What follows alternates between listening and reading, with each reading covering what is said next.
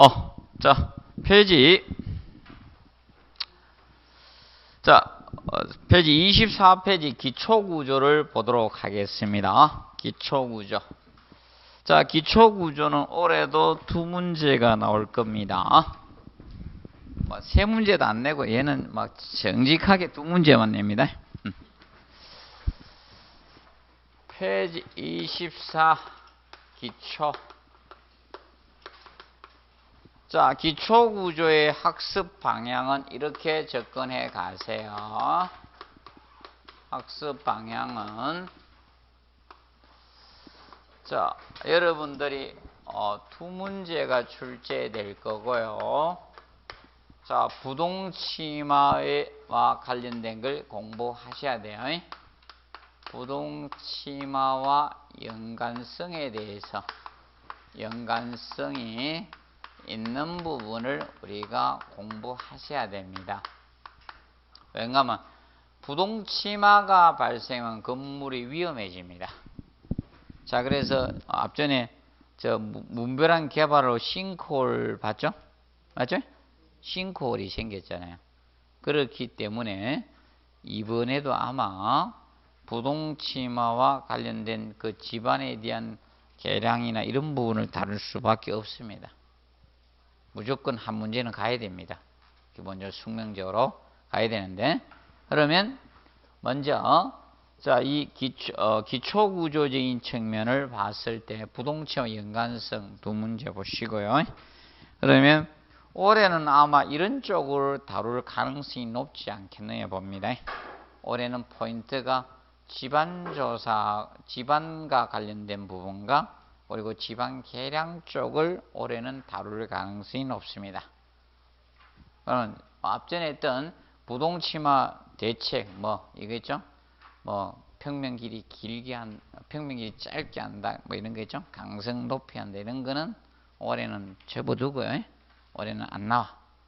그래서 그러면 먼저 어 거기에 기초를 잡기 위해서 24페이지 그림을 보면서 기초 구조의 명칭을 봅니다. 원래 기초라는 것은 상부의 하중을 우리가 배웠던 하중들 있죠? 그 하중을 받아서 집안으로 안전하게 전달한 땅속 구조가 기초인데 기초는 그 그림에서 보시면 자 일단 기둥이 있죠? 자 기둥이 있어. 보통 수직 부재가 기둥이나 벽이 있을 겁니까? 벽이 있을 때 상부에서 하중이 내려올 겁니까? 하중이 내려오면 그럼 기초는 집안에다 힘을 분산시켜 돼야 돼요. 집중시켜야 돼요. 집중시키면 들어가겠죠. 기초를 빼쪽하게 송곳을 해가 조금 하중으로 밑으로 뚫고 들어가겠죠. 그게 안 내려가기 위해서는 어떻게 됩니까? 판을 크게 해야 돼요. 그래서 발바닥 봐요. 발바닥이 발목보다 커졌어요? 줄어들었어요? 나는 줄어든 분 한번 손 들어봐요. 어. 줄어든 분이 대표적으로 돼지죠? 족발 있잖아요. 이렇게 탁탁. 어, 이거. 맞아요? 돼지가 좀 줄어든 것 같아. 그래서 돼지잖아.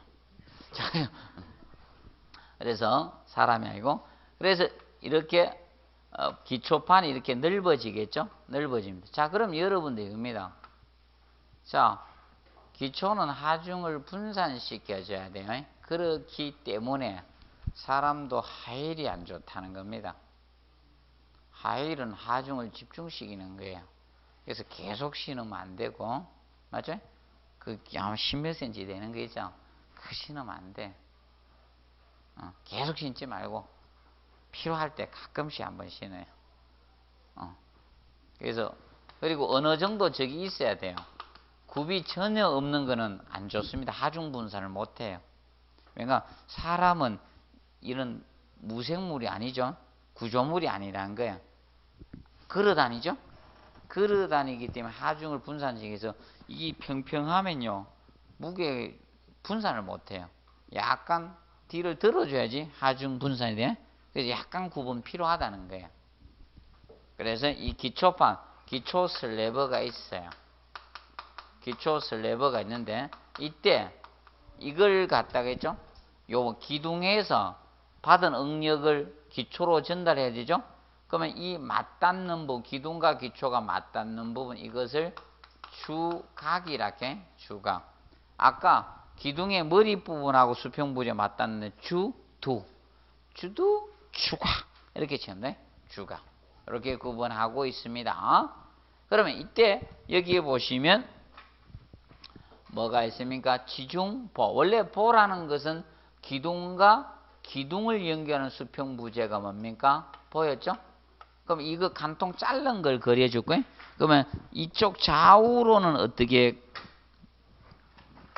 여기는 자, 이 사방으로 이게 다 가는 거예요, 사실. 이렇게 기초보가 이렇게 다 잡혀 있는 거예요. 이쪽으로도 가고. 사방으로 있는 거야. 보가 딱 잡혀 있는 거예요. 근데 요거는 자, 왜 기, 보통 보는 기둥과 기둥을 연결한 보인데 이 보는 뭐다? 기초 부분도 같이 연결해 줬죠? 그래서 기초보라고도 하고요. 기초보. 땅 속에 있거든, 얘는. 기초가. 기초가 드러나면 안 되죠. 땅 속에 들어가야 돼. 그래서 지중보라고도 하는 거예요. 땅 속에 있는 보라 해서 지중보. 기초를 연결해 줬다 해서 뭐다? 기초보라고 칭하는 거예요. 기초보. 기초보입니다. 기초보. 그러면 이 기초보, 지중보의 역할적인 측면 간략히 공부해 놓으시고 역할. 그러면 기초보, 지중보의 역할이 이 주각을 고정 상태로 해주는 거야. 사방에서 빡 잡아주니까 움직일 수 있다 없다 없죠? 음. 그래서 주각을 고정 상태로 해주는 겁니다. 고정 상태로 하여 부동치마 방지하는 역할을 기초보가 해주는 거예요. 부동 이건 아직 시험을 안 냈습니다. 안 냈고 그 다음에 이렇게 이제 지중보가 기초보가 이렇게 잡아주게 됩니다. 근데 이 기초가 그냥 바닥에 바로 놓여지면요 약합니다. 그래서 집안을 좀 보강할 필요가 있습니다. 그래서 기초판 요걸 기준으로 아래 부분에 보강되는 부분을 지정이란 용어를 씁니다. 지정. 지정은 사람도 오늘 지정공사를 하고 오셨습니다. 나는 오늘 맨발로 오신 분은 직접 기초로 해줍니다. 오늘 맨발로 오신 분 없죠? 나는 맨발 바닥으로 밟고 왔다. 이런 분 있으신 분 한번 들어봐요. 아무도 없죠? 노숙자들도 신발은 신고 있더라고. 맞죠? 지정은 했어요. 그래서 이 지정은 기초나 집안을 보강해 주는 거야. 집안을 보강해 주는 부분을 우리가 지정이라 해요. 지정이라 칭합니다. 지정. 그래서 여 밑에를 그 기초판 밑면을 기준 잡아서 지정을 잡았어요. 그러면 제일 먼저 기초판 밑에 콘크리트를 친다 해서 이걸 갖다가 밑창 콘크리트라 해. 밑창.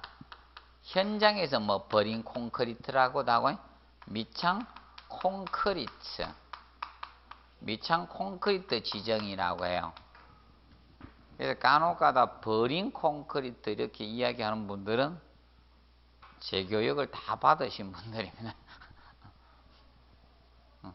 원래 밑창이라 해요. 설계 도서에는 다 밑창입니다. 밑창. 내가 옛날에 좀 썼던 용어입니다. 버린 콘크리트. 그래서 밑창 콘크리트 지정이라 합니다. 그리고 밑에 막 생긴 돌을 우리가 세워서 다집니다. 이걸 뭐라고 하는가? 잡석이라고 합니다. 잡석. 이걸 잡석, 막 생긴 돌을 잡석이라고 합니다. 잡석. 그런데 여기다가 말뚝을 때려 박을 수도 있습니다. 연약청일 때는 여기에다가 말뚝을 때려 박아요. 중앙 건물이나 이런 고층 건물들은 이 말뚝을 때려 박아. 사람으로 치면 하일 게 말뚝 지정입니다. 맞죠? 음. 그러면 일반 여러분들이 운동화 신으면 잡석 지정한 거고 양말이 무슨 지정? 미창 콘크리트 지정이죠. 양말이나 스타킹이 미창 콘크리트 지정이고 신발이 뭐다? 잡석 지정. 아 하이나 키리를 박았다 이거는 말뚝 지정입니다. 음. 말뚝 지정이 된 거예요. 그러면 공사할 때 이겁니다. 말뚝 지정을 먼저 공사하고 그 위에다 뭐 한다? 잡석 지정. 그 위에다 밑창 콘크리트 지정을 하고 기초에 먹매김을 해. 먹매김을 딱 먹줄치기를 딱 해가지고 이 기초판을 만들어요. 오케이? 그렇게 공사 들어갑니다. 어, 깊은 건 안 할게요. 하면 머리들 다 뽑아락해. 그래서 간단히 기억하시고 지금 딱 하나 내서 이거 줄기초로 만들어 가고 지정이 어디서 붙은가 이거 11회 때 냈습니다. 더럽게 했다면 11회 때 한 번 딱 내주세요. 어, 예. 그래서 요새는 줄기초는 안 그립니다. 그래서 옛날은 독립기초하고 줄기초 두 개를 그리게 해주다가 줄기초가 나왔기 때문에 줄기초는 안 해. 그림도 없애버렸어요. 옆에 놈. 난 나온 놈 학자 빼버려요. 옆에 그림 하나밖에 없죠. 옆에 줄기초가 그림이 있었는데 뺐습니다. 자 기억하시고 그러면 앞으로 나올 수 있는 건 얘야. 지중보. 낼수 있어요? 아니면 그림 그려놓고 각 부분 명칭이 옳지 않는 거 이렇게 낼 수도 있어요. 그래서 다 써준 거예요. 쭉다 써줬어요. 명칭을 다 써드렸습니다. 보십시오. 그리고 25페이지 동결선 이거는 이미 다 내버렸어요. 3회에서 7회 사이에 나왔어요. 이거는 뭐 왜 내는가 하면 1회 문제가 부동치마 원인을 냈고요. 2회가 무엇을 냈는가 하면 부동치마에 대한 대책을 냈어. 그러면 내수니까 이제 딴 거 내야 될 거 아닙니까? 그래서 이 동결선 내다가 최근에 다시 부동치마가 15회 때 나왔어요. 그래서 16회 때 내가 부동치마 그럼 대책이겠네요. 이러니까 1회 때가 맞죠? 원인. 2회 때가 대책이거든. 그게 15회 때 원인. 16회 때 대책 안 나고 그 지방 계량 언더피닝 공법 내세요. 전 지방 계량 공법으로 간다 했거든. 그리고 17회 때 이제 부동치마 대책 보자 했죠? 대책 가지고 나온 거야. 그럼 올해는 다시 뭘 봐야 되겠어요?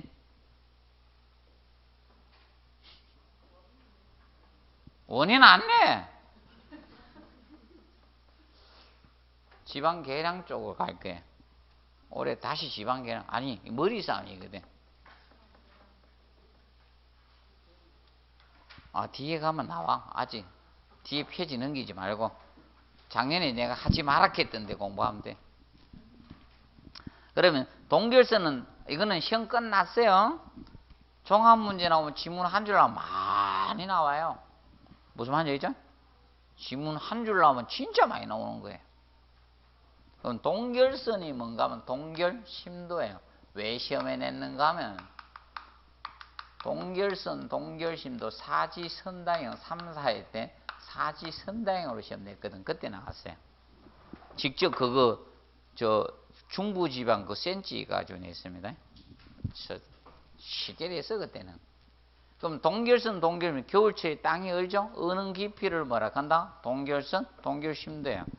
이거는 개념만 하세요. 외우려 하지 말아요. 자, 기초가 동결선 이하의 배제 위에 있어요. 동결선 이한데 기초가 위에 있잖아요. 그럼 땅은 어떻게 됩니까? 겨울에 되면 동결 얼게 되면 됩니까? 부피가 어떻게 팽창돼 건물 위에 뚫어. 그러니까 다시 봄에 해빙기가 돼서 내려앉는데 똑같이 안 녹는다는 거예요. 맞죠? 그래서 어딘가 양지 쪽 햇빛이 비친 쪽이 빨리 녹죠. 음지 쪽은 늦게 녹아가요. 그럼 다 녹는데 무슨 상관입니까? 아닙니다. 한쪽이 먼저 녹고 상태에서 한쪽으로 기울겠죠? 그런데 문제가 뒤쪽 녹을 때 그쪽으로 녹으면 되는데 그 물이 양쪽으로 다 빠져나가. 그러면서 약간씩 틀려져. 거기 흘러가는 게. 그래서 부동치마가 생겨. 그럼 부동치마 생기면 사람이야 괜찮지만 건물은 문제가 생겨. 한쪽이 치마가 부동치마, 동일한 치마가 아니다 이거죠? 동일, 아니 불자잖아. 앞에 부자가. 아니 불자인데 앞에 오면 부자를 열리죠? 부동치마입니다. 그러면 부동치마가 한쪽이 치마가 많이 되고 한쪽이 치마가 이렇게 적게 되면요. 건물에 강제 변형이 생겨요. 이쪽으로 잡아당겨져. 인장이 생기고 반대로 뭐다? 압축이 생겨요. 그러면 크랙은 인장 잡아당기는 에 무엇으로 생긴다? 직각방향 크랙 이렇게 가요. 그러지? 그럼 위험해지는 거예요. 맞죠? 부동침하 생기면 건물이 위태로워집니다. 맞죠? 심하면 진짜 심한 건 중국에 누워버렸죠. 이렇게 누워버리죠. 못 봤어 옛날에. 기둥 뽑혀가 기둥이 다 보이던데 말뚝바가 말뚝 파일이 싹 보여. 확 누워버려 연약 집안이라서 공사를 제대로 못해가지고 봐두시고 그래서 그거면 거기에 나오는 2번 한번 체크해서 읽으면 되세요. 기초는 동결선이에 반드시 설치입니다. 반드시가 나왔다는 것은 예외 규정이 있다 없다? 없다는 거예요. 예외 규정이 없다는 거예요. 그리고 3번 동결선은 지역이나 지역의 또, 어, 겨울지에 따라 다를 수 있고 그 다음에 그 4번에 그 보시면 북부가 120, 중부가 얼마? 90, 남부가 얼마다? 60이에요. 그러면 서울이 어디 속한다? 중부에. 그래서 중부로 시험 냈던 거예요. 근데 어, 위도상 있죠? 서울하고 강릉이 위도상 거의 유사합니다. 그런데 서울하고 강릉하고 온도는 차이는 많이 나요, 적게 나요? 엄청 많이 납니다.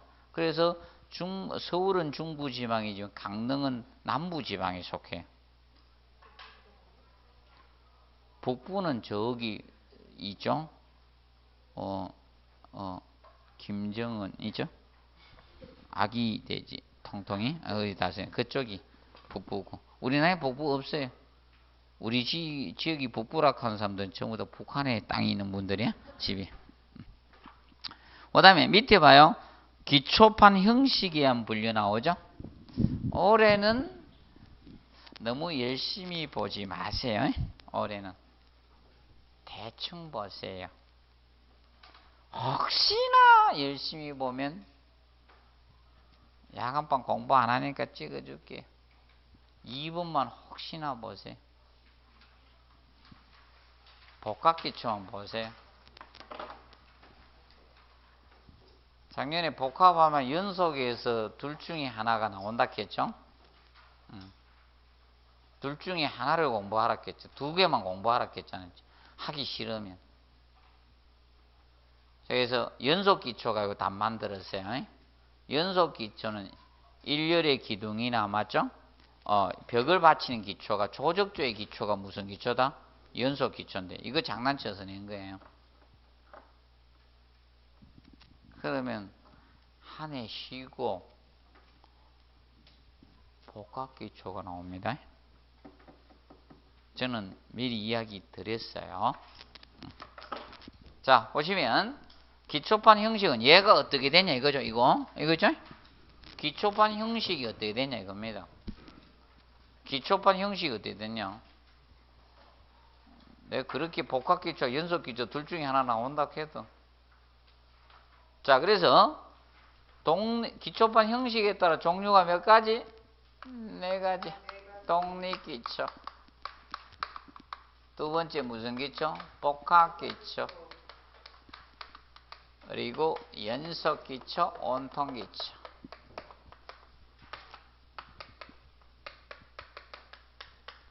그럼 밑으로 올수록 뭐가 커지? 기초판 면적이 커집니다. 밑으로 올수록 기초판 면적을 증가시킨 거야.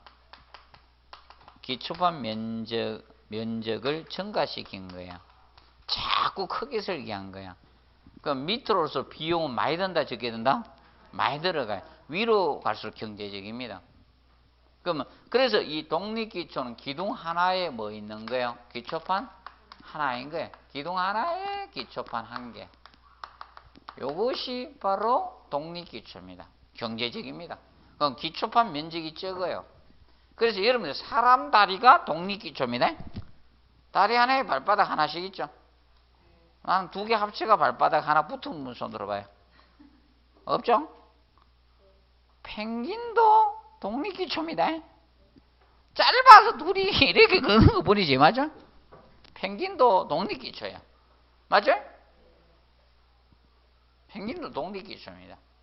자, 그러면 독립기초는 이겁니다. 기, 자, 그러면 기초판 면적이 커요, 적어요? 제일 작게. 사람 발바닥이라니까. 그러면 이거는 지내력이 큰 집안에 써야 돼? 적은 집안에 써요? 큰 집안에 사용해야 돼? 큰 집안에 사용하는 기체예요.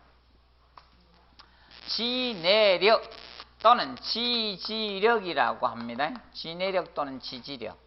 같은 말이에요. 집안이 하중을 지지할 수 있는 능력. 집안이 하중을 지지할 수 있는 능력. 얼마나 지지할 수 있냐? 지지할 수 있는 능력을 지내력 또는 지지력이라고 씁니다. 지내력, 지지력입니다. 그래서 지내력이 큰 집안에 쓸 수 있습니다. 자, 그래서 사람이 뻘에 지나가면 쑥쑥 빠지죠? 맞죠?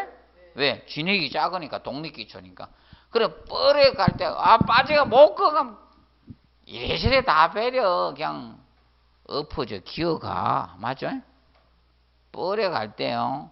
와, 달리기한테 빠지가 못, 봐, 못 가겠다. 그럼 어떻게? 키워서 가세요. 기면 표면적이 넓어지죠? 기초파 면적이 증가되니까 갑니다. 안 빠지고. 맞죠? 음, 그래 가시면 돼요. 그럼 얼굴을 보호해야 되겠다. 그럼 이렇게 뒤로, 뒤로 이렇게 기어가면 돼. 맞죠? 기어가면 됩니다. 그러면 얘는 연약 집안에 적합하다, 부적합하다? 부적합한 기초가 독립기초예요. 맞죠? 연약 집안에 부적합해요. 그럼 복합기초.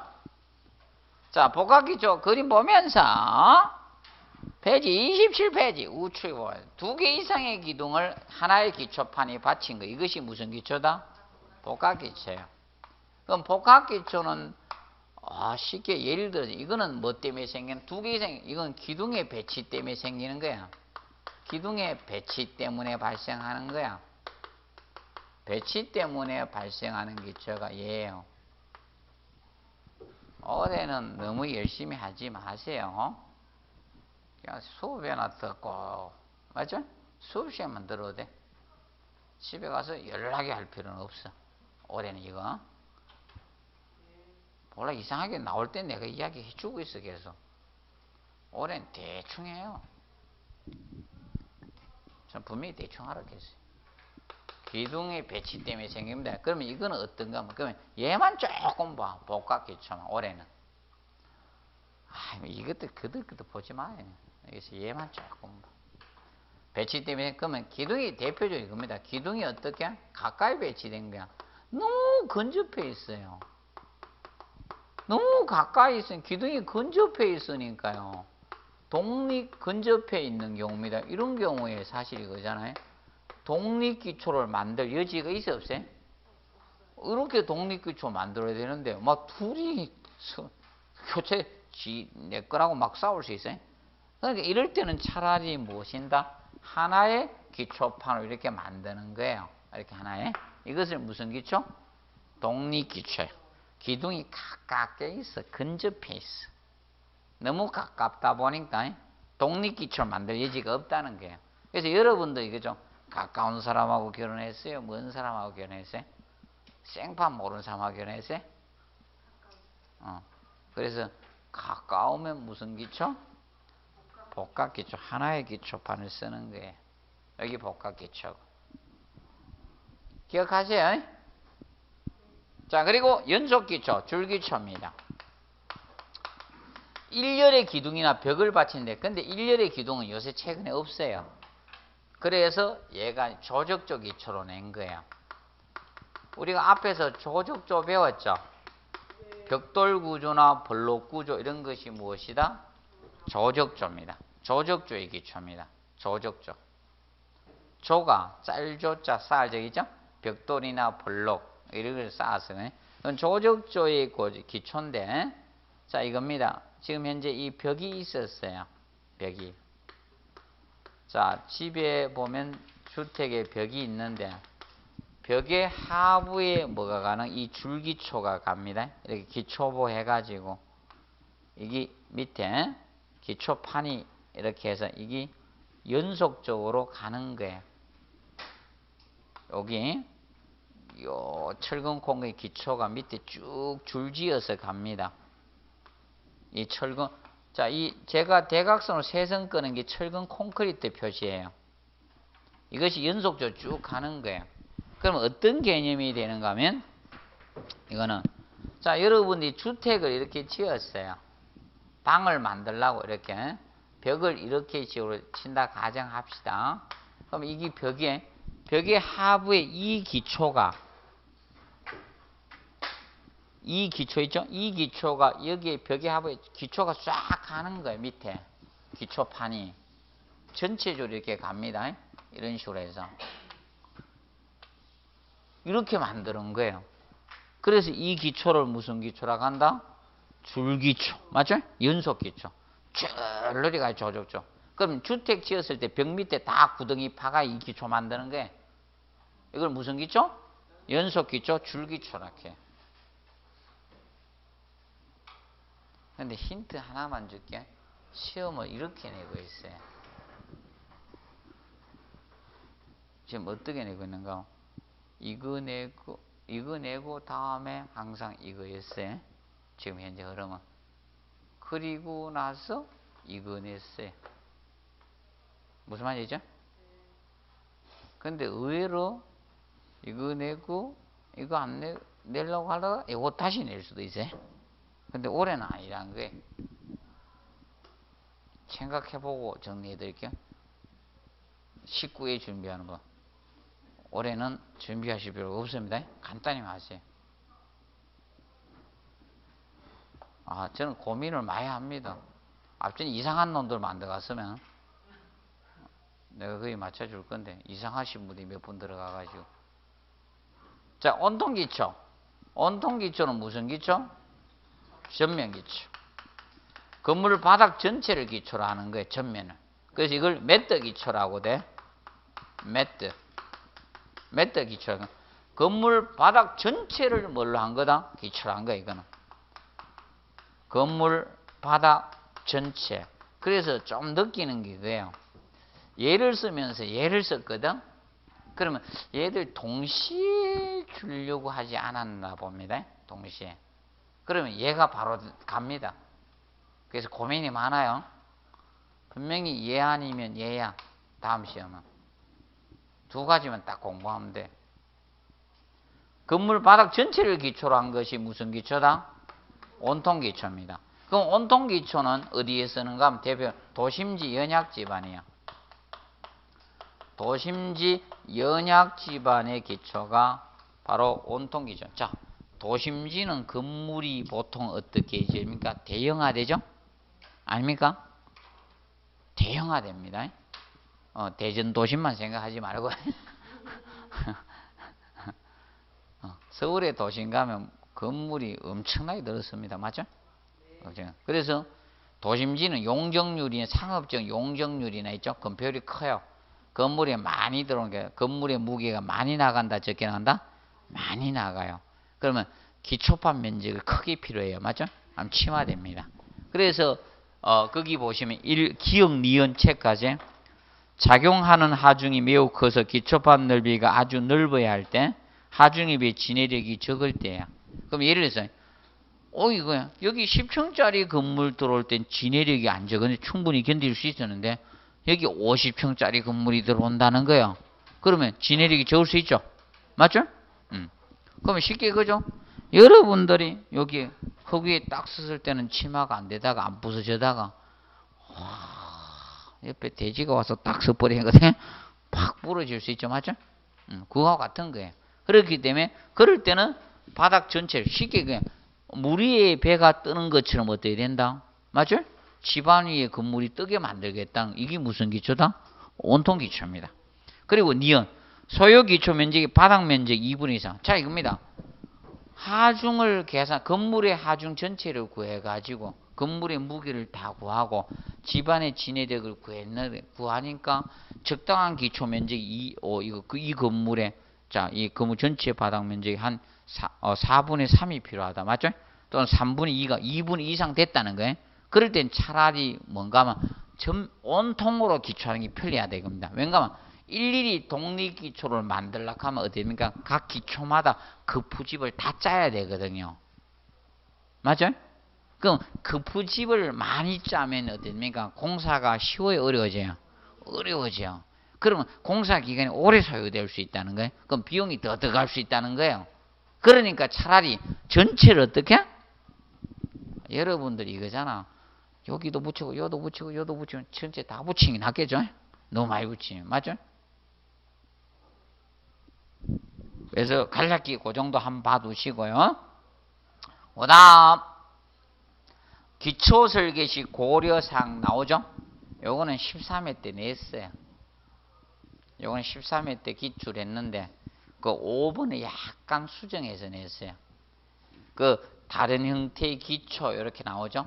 그래서 이거 또 봐야 돼. 다른 형태의 기초회가 나오죠? 맞죠? 그럼 여기서 이 기초가 있는데 쉽게 그냥 한쪽은 동리 기초라고 한쪽은 온통 기초라고 그러면 돼 안 돼요? 안 되겠죠? 그래서 그걸 다른 형태의 기초를 이거면 이종 형식 이종 형식 기초하면 안 된다는 거예요. 이 기초하지 말아요. 그게? 이종 형식 기초. 그리고 말뚝 등을 한 건물에 혼용하면 부동체 위험 그래가지고 이질 지정하지 말아라. 이종 형식 기초하고 이질 지정. 자, 이 지정의 종류가 지정의 종류가 다른 것을 이질 지정이라 해. 이질 지정. 하면 안 된다는 겁니다. 그럼 쉽게 여러분들도 오늘 한번 해봅시다. 한쪽은 일반 신고, 한쪽은 하일 신고 걸어가 봐요. 집에 가면 편안하시겠어요? 안 편하겠죠? 어, 위험해. 그래서 이질진 이종 형식 기초하죠. 그래서 이거 또 이거 봐야 돼. 또 내도 아마 이렇게 쓸 수 있어. 왜 이종 형식으로만 냈거든? 이종 형식으로.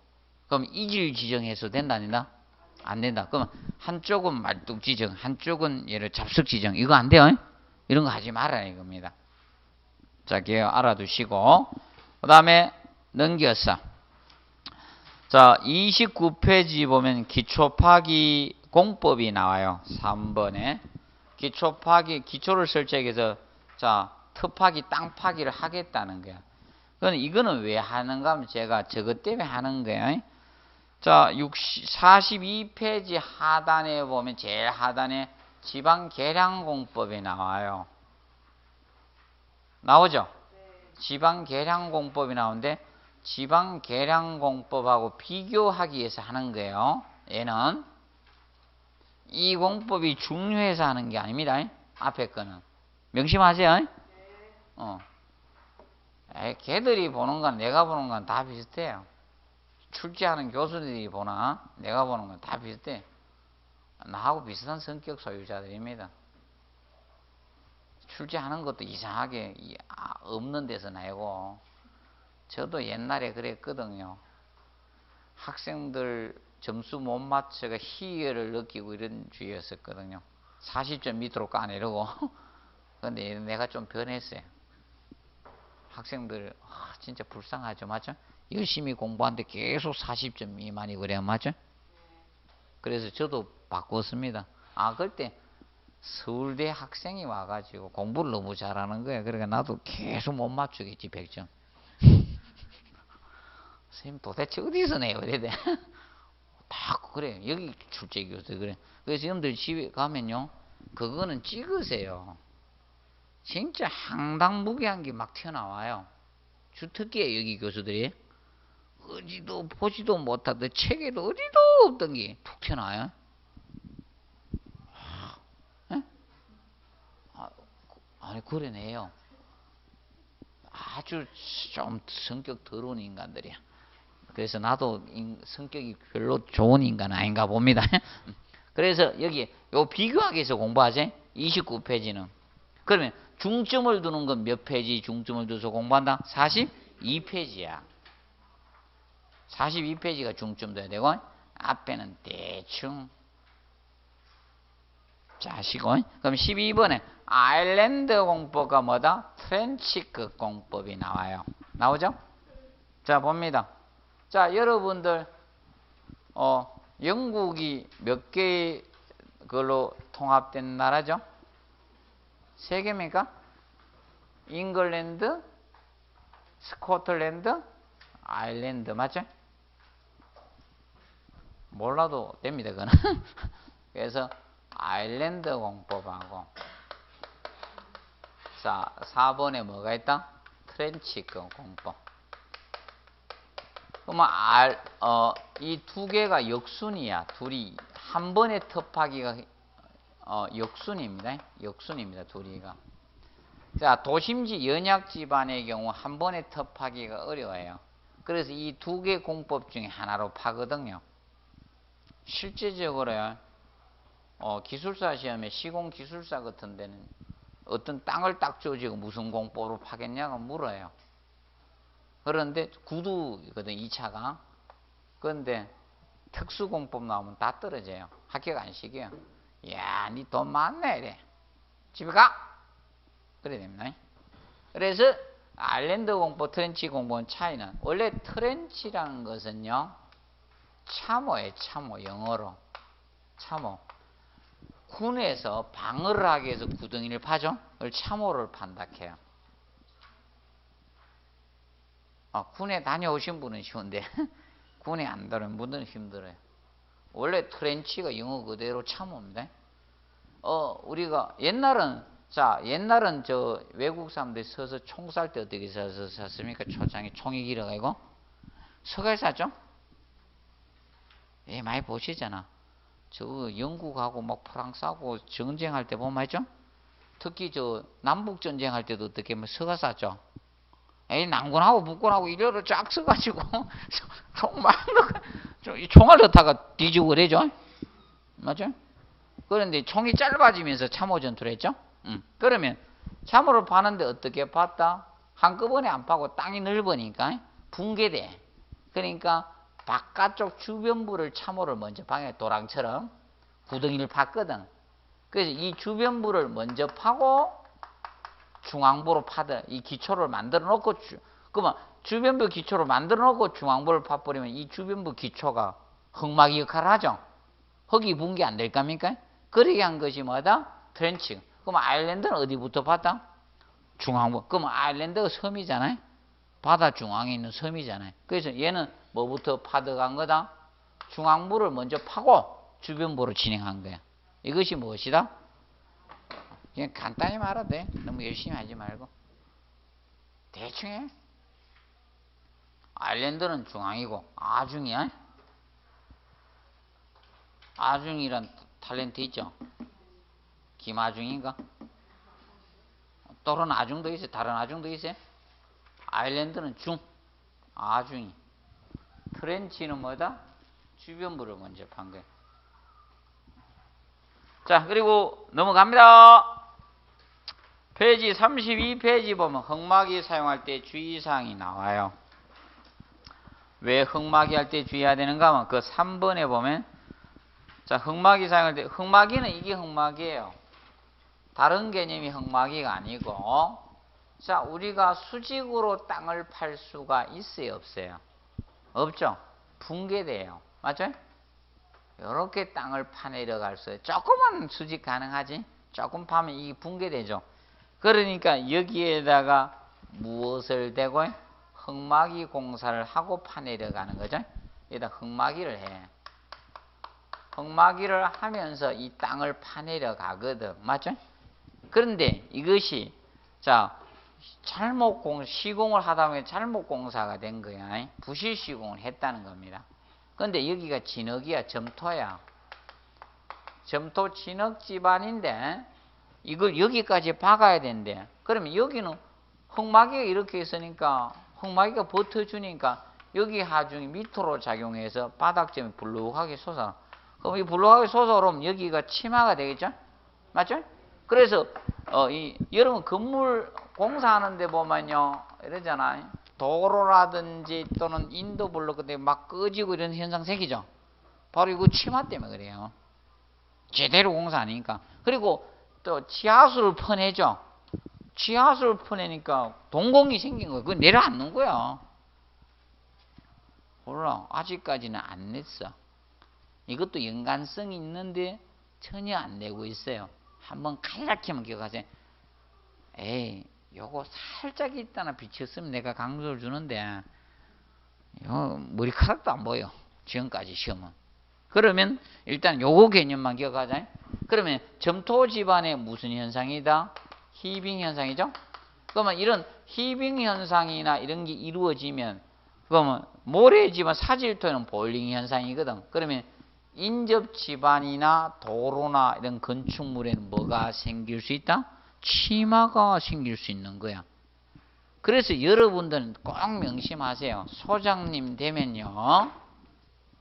어, 주변에 지하철이 들어오면 좋긴 좋죠. 우리 아파트 단지 맞죠? 옆에 도로로 지하철이 들어온다. 그러면 아- 아파트 가격은 뛸 수 있죠. 맞죠? 지하철역이 생기면. 그런데 그걸 할 때 주의할 사항이 이겁니다. 맞죠?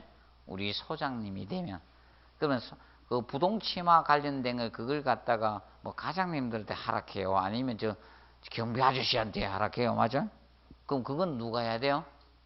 우리가 해야 돼요. 부동치마가 되냐 안 돼? 그러면 미리 시공사 같은 데 있죠? 맞죠? 팔 때 어떤 공법으로 파면 집안에 대한 우리 집안에 대한 있죠? 토질 검사 있죠? 그 주변 도로 한 포작 해 가지고 맞죠? 포작해야죠. 맞죠? 대책 세워지는가 맞죠? 보고 그 다음에 미리 어, 법적 대응을 하기 위해서 어떻게 하는가 하면 지하 주차장이나 건물을 다 찍거나 맞죠? 지하철 공사 이전 몇월 며칠 해가지고 착 촬영돼 놓고 찍어 놓는 거예요. 이놈들이 공사를 시작했다. 맞죠? 파모로서 진행되는 과정을 사진을 찍어 놓는 거예요. 그래야지 유능한 소장이 돼요. 맞죠? 여러분들 증명하겠어요. 나중에 균열 가고 너들 때문에 갔다고 증명할 수 없죠? 아, 맞죠? 그러기 때문에 그걸 절차를 딱 잡아 놓는 거예요. 그래서 부동치마 관련된 게 다 시험 내는 거야. 소장님이 되면 건물이 치마되는 데도 칼출근, 칼퇴근하면 안 됩니다. 맞죠? 명심하세요. 그렇기 때문에 이 부동치마 관련된 걸 내는 거예요. 그러면 히빙 현상이나 흉막이지 볼링 현상이 생기면 여기에 뭐가 될 수 있다? 치마가 발생이 될 수 있거든요. 그러면 위험해진다는 거예요. 맞죠? 특히 이겁니다. 지하철이죠. 우리 아파트 기초보다 더 깊게 맞죠? 밑에 파고 지나가는 경우 있죠? 이걸 조심해야 되는 거예요. 맞죠? 그럼 아파트가 지하 2층 주차장으로 되어 있는 경우도 있고 3층 간 데도 있죠. 맞죠? 야, 그런데 이놈 이 이건 뭐 공법이 하여튼 엄청 대심도. 그래서 여러분들 혹시 아, 얘는 관계 없겠네. 아, 얘는 대심도 그거 안 하죠. 아이 수도권에는 저 밑으로 도로 넣는다 하잖아요. 그 공사하면서도 과연 얼마나 많은 게 그럼 지하 40m 밑에 들고 파는 거죠, 맞아? 그왜 40m 밑을 파는가 하면요. 보통 도심지 있죠. 지하권이 지하 40m까지 인정돼요. 건물 짓는 기본이. 그래서 지하권이 40m 인정이 돼요. 그, 그 밑에를 대심도라 하는 거예요. 그 파고 지나갈 때 GTX가 이거 수도권에. 그거 파고 지나가면요. 다 사건 사고 많을 겁니다. 내가 보기에. 자, 그래서 오늘은 여기까지 하고 그 다음에 다음 주에 그 33회 오전반에 여기까지 나가세요. 집안 조사.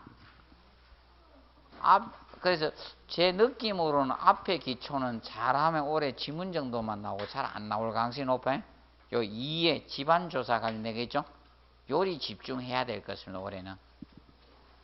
자, 오늘 여기에서 마치도록 하겠습니다. 자, 수고하셨습니다. 다음 주에 뵙겠습니다.